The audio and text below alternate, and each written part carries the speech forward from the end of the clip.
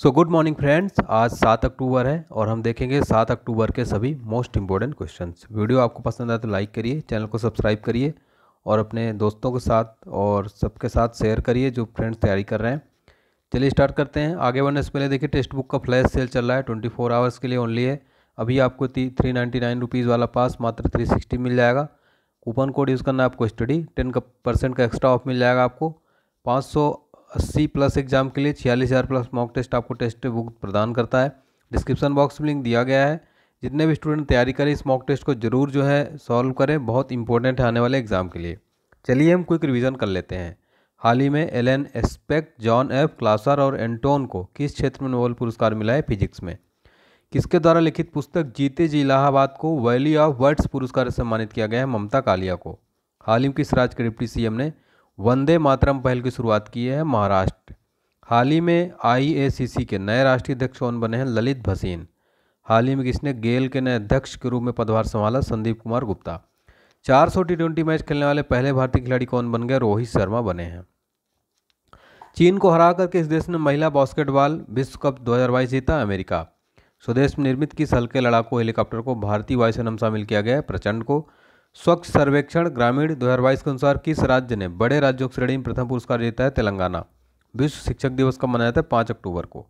अब हम स्टार्ट करेंगे हमारा सात अक्टूबर का मोस्ट इंपॉर्टेंट क्वेश्चन पहला क्वेश्चन देखते हैं, काफ़ी महत्वपूर्ण है। हाल ही में किसने 2022 का ईरानी कप जीत लिया है? ये जीता है, रेस्ट ऑफ़ इंडिया ने ईरानी कप जीत लिया है। आपको बता दें कि यह रेस्ट ऑफ़ इंडिया का उनतीसवां ईरानी ट्रॉफी था। ये इम्पोर्टेंट है, याद रखिएगा। और रेस्ट ऑफ़ इंडिया ने दोस्तों सौराष्ट्र को राजकोट के, सौराष्ट्र क्रिकेट स्टेडियम में आठ विकेट से हराकर जो है, चार अक्टूबर को ईरानी ट्रॉफी जो है जीत लिया है। आपको बता दें कि मौजूदा रणजी ट्रॉफी विजेता और रेस्ट ऑफ़ इंडिया क्रिकेट की टीम के बीच प्रतिवर्ष खेला जाता है। पहला संस्करण कब आयोजित हुआ था? उन्नीस सौ उनसठ और साठ में आयोजित किया गया था। तो किसने जीत लिया Irani trophy? Rest of India ने जीता है इंपॉर्टेंट क्वेश्चन है साथियों। ठीक है देखिए, यहाँ पर बात क्रिकेट से हो रही है, स्पोर्ट्स से हो रही थी स्पोर्ट्स रिलेटेड हम top most important question revision करेंगे। हाल ही में अट्ठाईस जुलाई से आठ अगस्त तक राष्ट्रमंडल खेलों में भारत पदक तालिका कौन से स्थान पर रहा? चौथे नंबर पर रहा।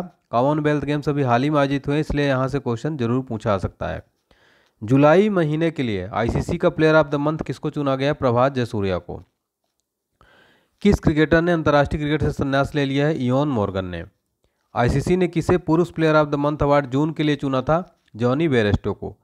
और इंटरनेशनल टी ट्वेंटी इतिहास में लगातार सबसे ज़्यादा तेरह मैच जीतने वाले कप्तान कौन बने? रोहित शर्मा बने हैं।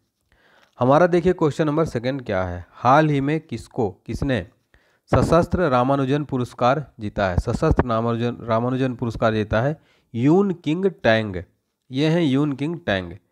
तो 2022 के लिए कैलिफ़ोर्निया यूनिवर्सिटी में, जो है एक असिस्टेंट प्रोफेसर हैं, यूनकिंग टैंग को ये प्रदान किया गया है। इस पुरस्कार की स्थापना जो है 2005 में की गई थी, ठीक है? इसकी स्थापना प्रौद्योगिकी और अनुसंधान अकादमी शास्त्र द्वारा किया गया था। इसके तहत दस हज़ार डॉलर की राशि जो है दी जाती है। आपको बता दें, गणित के क्षेत्र में इसको योगदान देने वाले बत्तीस वर्ष से और उससे कम आयु के व्यक्तियों को यह पुरस्कार दिया जाता है। किस क्षेत्र में दिया जाता है? गणित के क्षेत्र में क्वेश्चन यहाँ से पूछ सकता है। यूनकिंग टैग ने सशस्त्र पुरस्कार जीता है। इंपॉर्टेंट क्वेश्चन है। ये गणित के क्षेत्र में दिया जाता है, ठीक है? चलिए।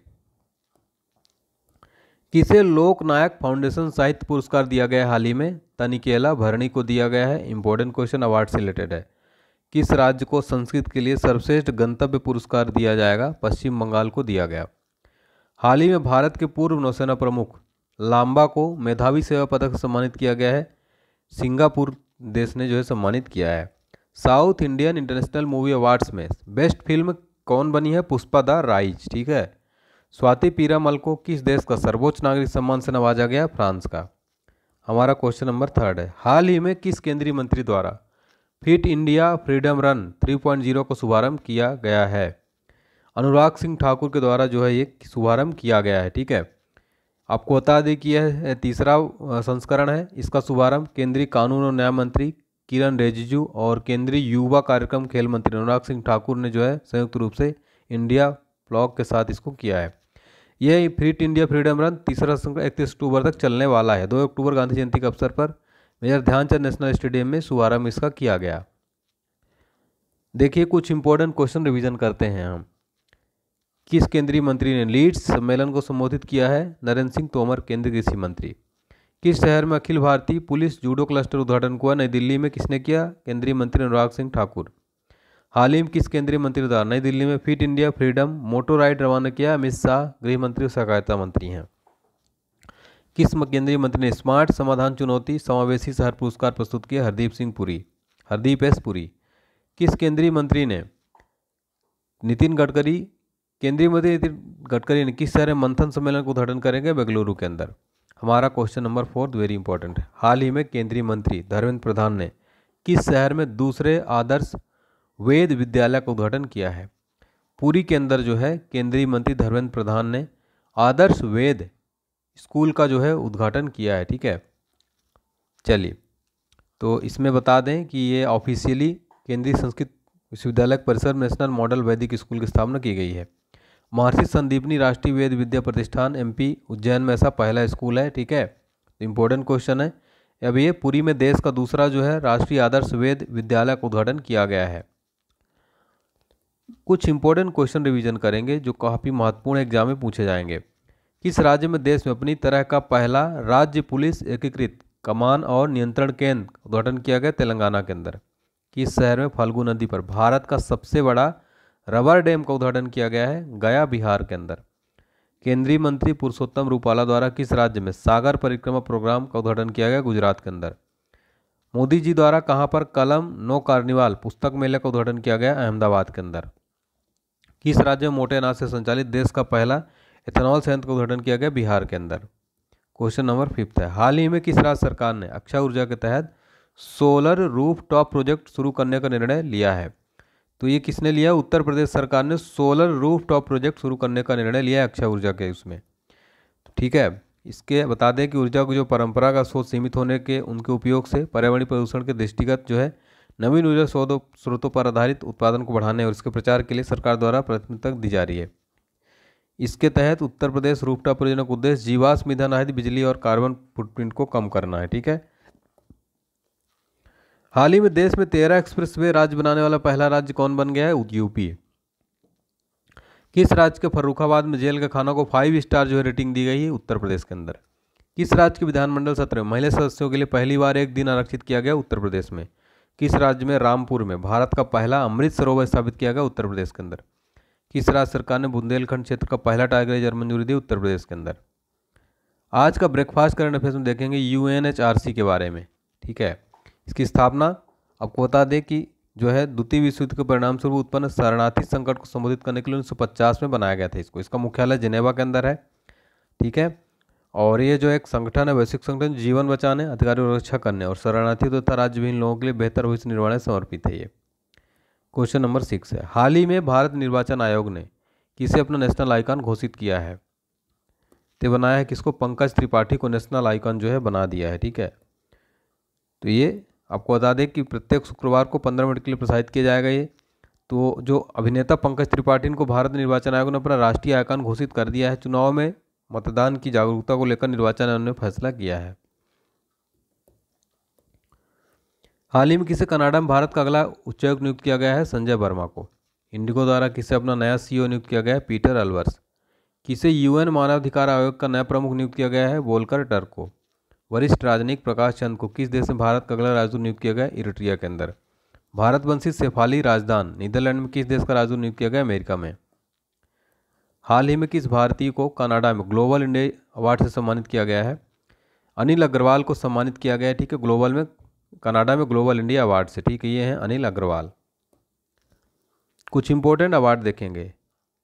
किसे लद्दाख का सर्वोच्च नागरिक सम्मान से नवाजा गया? दलाई लामा को। किस देश की सरकार द्वारा कन्नम सुंदरम को सेविलियर अवार्ड से सम्मानित किया गया फ्रांस से। किसे लोक नायक फाउंडेशन साहित्य पुरस्कार प्रदान किया गया? तनिकेला भरणी को। हाल ही में किस शहर में पंद्रहवा अंतर्राष्ट्रीय सूफी रंग महोत्सव आयोजित किया गया है? अजमेर के अंदर पंद्रहवा अंतर्राष्ट्रीय सूफी रंग महोत्सव का आयोजन किया गया है, ठीक है? अजमेर के अंदर किया गया इंपॉर्टेंट क्वेश्चन है ये। चलिए, पंद्रहवा अंतर्राष्ट्रीय सूफी रंग महोत्सव। हाल ही में किस शहर में भारत का पहला थ्री प्रिंटेड माना कार्नी विकसित किया गया हैदराबाद के अंदर। किस शहर में सबसे लंबा डबल लेकर फ्लाईओवर बनाने का रिकॉर्ड बनाया गया? नागपुर के अंदर। किस शहर में एंटरप्राइज इंडिया नेशनल कायर कॉन्क्लेव का आयोजन किया गया? कोयम्बटूर के अंदर। किस शहर में वरिष्ठ नागरिकों और दिव्यांगजनों के लिए सामाजिक अधिकारिता शिविर का आयोजन किया गया नागपुर के अंदर। क्वेश्चन नंबर नाइन्थ है, हाल ही में राज्य आईटी मंत्रियों के डिजिटल इंडिया सम्मेलन का मेजबान कौन सा केंद्र शासित प्रदेश है? नई दिल्ली है, ठीक है? चलिए। हाल ही में किस मंत्रालय द्वारा मतदाता जागरूकता के लिए, रेडियो श्रृंखला मतदाता जंक्शन का शुभारंभ किया गया है? चुनाव आयोग के द्वारा जो है ये मतदाता जंक्शन का शुभारंभ किया गया है, ठीक है? चलिए तो इसमें आकाशवाणी के साथ मिलकर मतदाता जंक्शन नाम से रेडियो सीरीज़ का शुभारंभ किया गया है। हाल ही में नीति आयोग ने किस केंद्र प्रदेश में 500 अटल टिकरिंग लैंग स्थापित करने की घोषणा की जम्मू कश्मीर के अंदर? किसके द्वारा देश का पहला राष्ट्रीय electric freight platform E fast India launch किया गया नीति आयोग द्वारा? किस राज्य सरकार द्वारा? नीति आयोग की तर्ज पर एक राज्य स्तरीय संस्थान बनाया जाएगा महाराष्ट्र के अंदर। आज का एग्ज़ाम लंच है। कंप्यूटर के किस भाग को हम स्पर्श कर सकते क्या कहलाता है? हार्डवेयर। कैंसर के उपचार में प्रयुक्त उत्कृष्ट गैस कौन सी है? रेडॉन। मोनोजाइड वालूम कौन सा खनिज पाया जाता है? थोरियम। शरीर में सबसे बड़ी अंतस्त्रावी ग्रंथि कौन सी है? थायराइड। संसार का विशालतम स्तनधारी कौन सा? व्हेल मछली। ब्लड ग्रुप की खोज किसने की थी? लैंड स्टेनर ने।